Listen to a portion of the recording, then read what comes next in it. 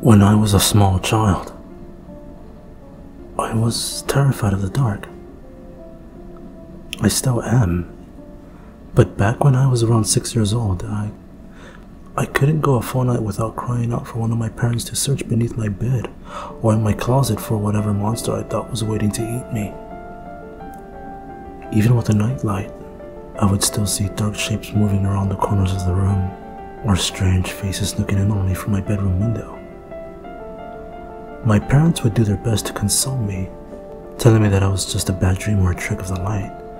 But in my young mind, I was positive that the second I fell asleep, that bad things would come and get me. Most of the time, I was just hiding under my blankets until I became tired enough to stop worrying.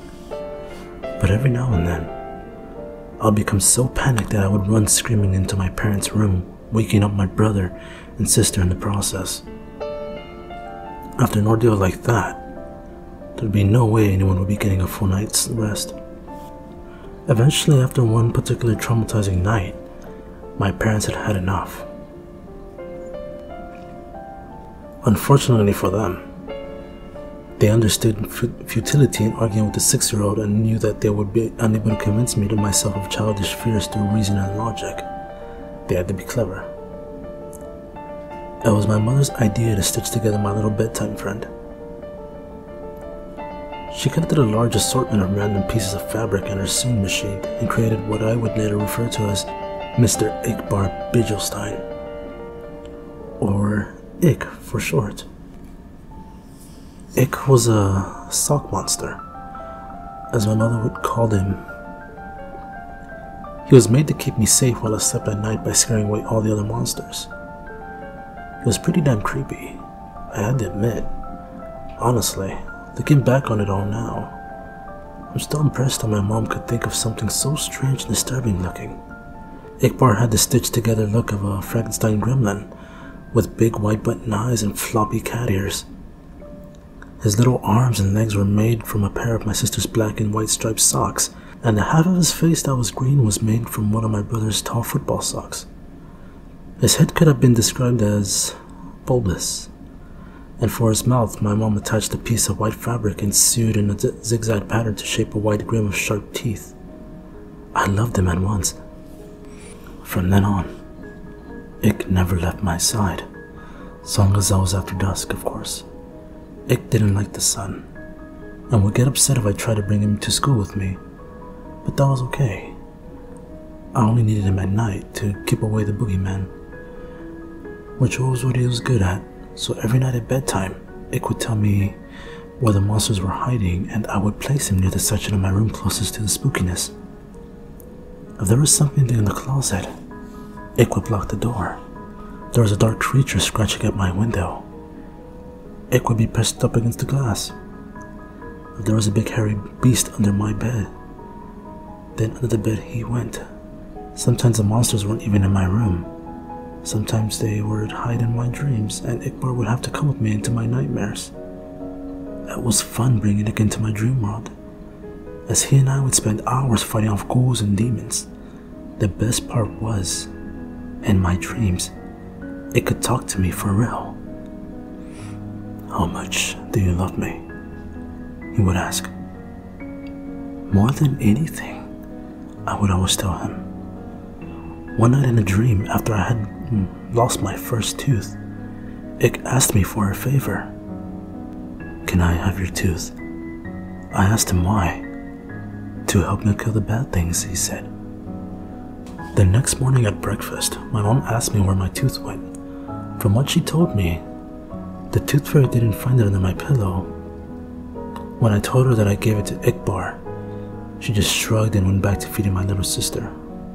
From then on, every time I lost a tooth, I would give it to Ick. He would always thank me, of course, and tell me that he loved me. Eventually, though, I ran out of baby teeth and I was beginning to get a little too old to still be playing with dolls, so Ick just sat there on my bookshelf collecting dust, slowly fading away from my attention.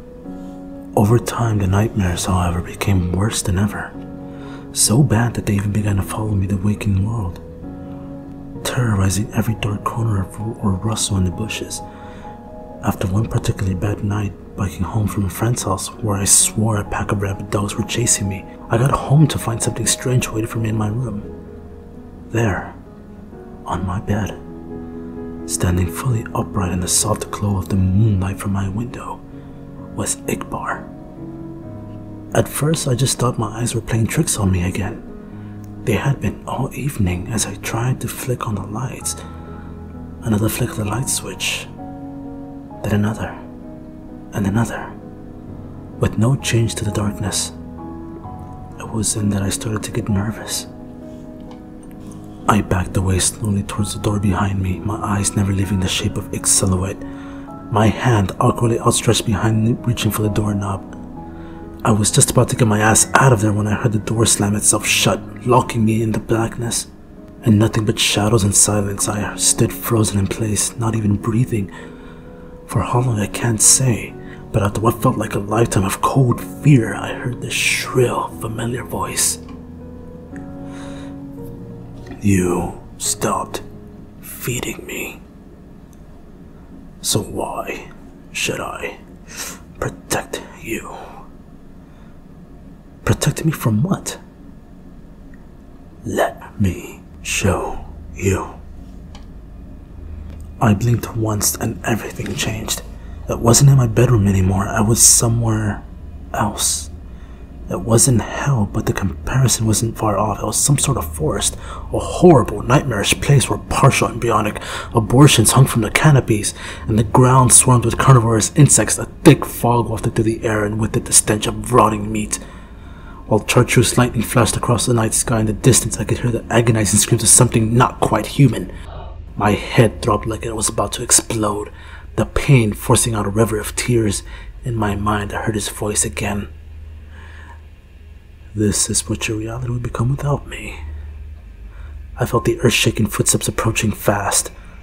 I'm the only one who can stop it. It was behind me now, huge and angry, hot breath across my back. Bring me what I need, and I will. I woke up before I could turn around.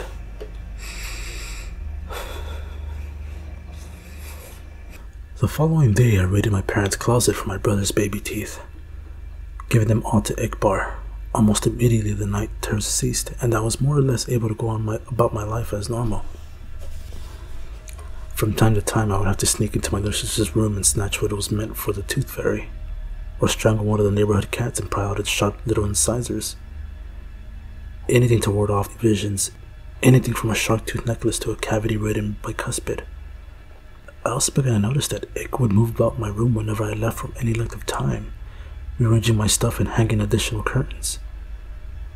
He was even beginning to look more lifelike, somehow. In the right light, his teeth would glisten and he was warm to the touch. As much as he creeped me out, I couldn't work up the courage to just destroy him, knowing perfectly well where that would leave me. So I went on collecting teeth for Ik throughout all of high school and college. The older I got, the more things I would learn to fear, the more teeth Ik would need to keep me safe. I'm 22 years old now. I'm 22 years old now. With a decent job, my own apartment, and a set of dentures. It's been almost a month since Ik's last meal, and the horrors are starting to crowd around me once more. I took a detour through his parking garage after work tonight. Found the man fumbling with his car keys. His teeth were stained yellow from a lifetime of cigarettes and coffee. Even still, I had to use a hammer to get out the molars. When I got back to my apartment, he was waiting for me. On the ceiling, in the corner. Two white eyes and a mouth of razors. How much do you love me? He asked. More than anything, I replied, taking off my coat. More than anything in the world.